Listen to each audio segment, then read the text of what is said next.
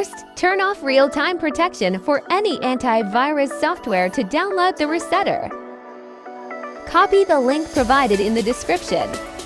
Open browser. Right-click and paste.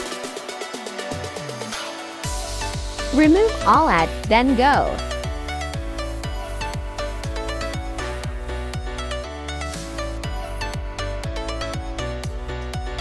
Click Download.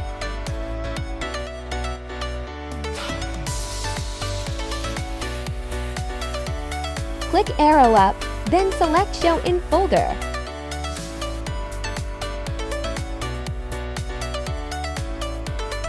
Right-click on the folder. Select Cut. Paste on the desktop. Right-click on the folder. On the 7-zip, select Extract here. Type the password, OHC.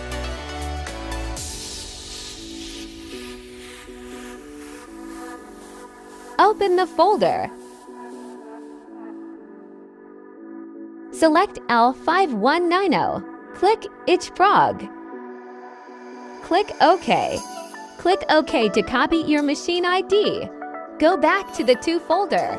Select Specific Generator. Select X folder. Click WLGen underscore Epson L5190. Select License Manager.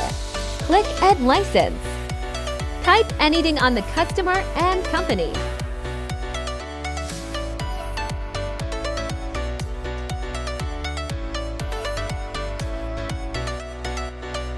On the hardware ID, right-click then paste the copied machine ID. Click Save. Click Create License Key. Click OK.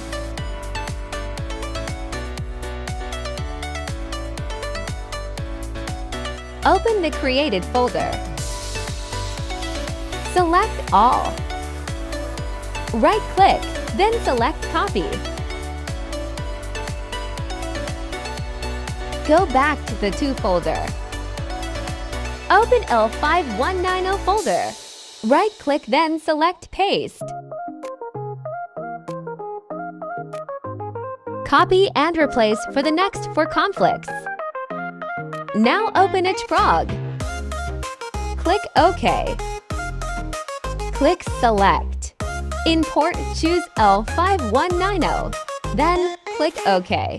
Select Particular Adjustment Mode.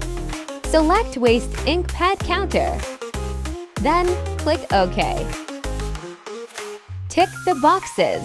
Click Check. Tick the boxes again. Click Initialize. The counter will be initialized. Click OK. Done Reset.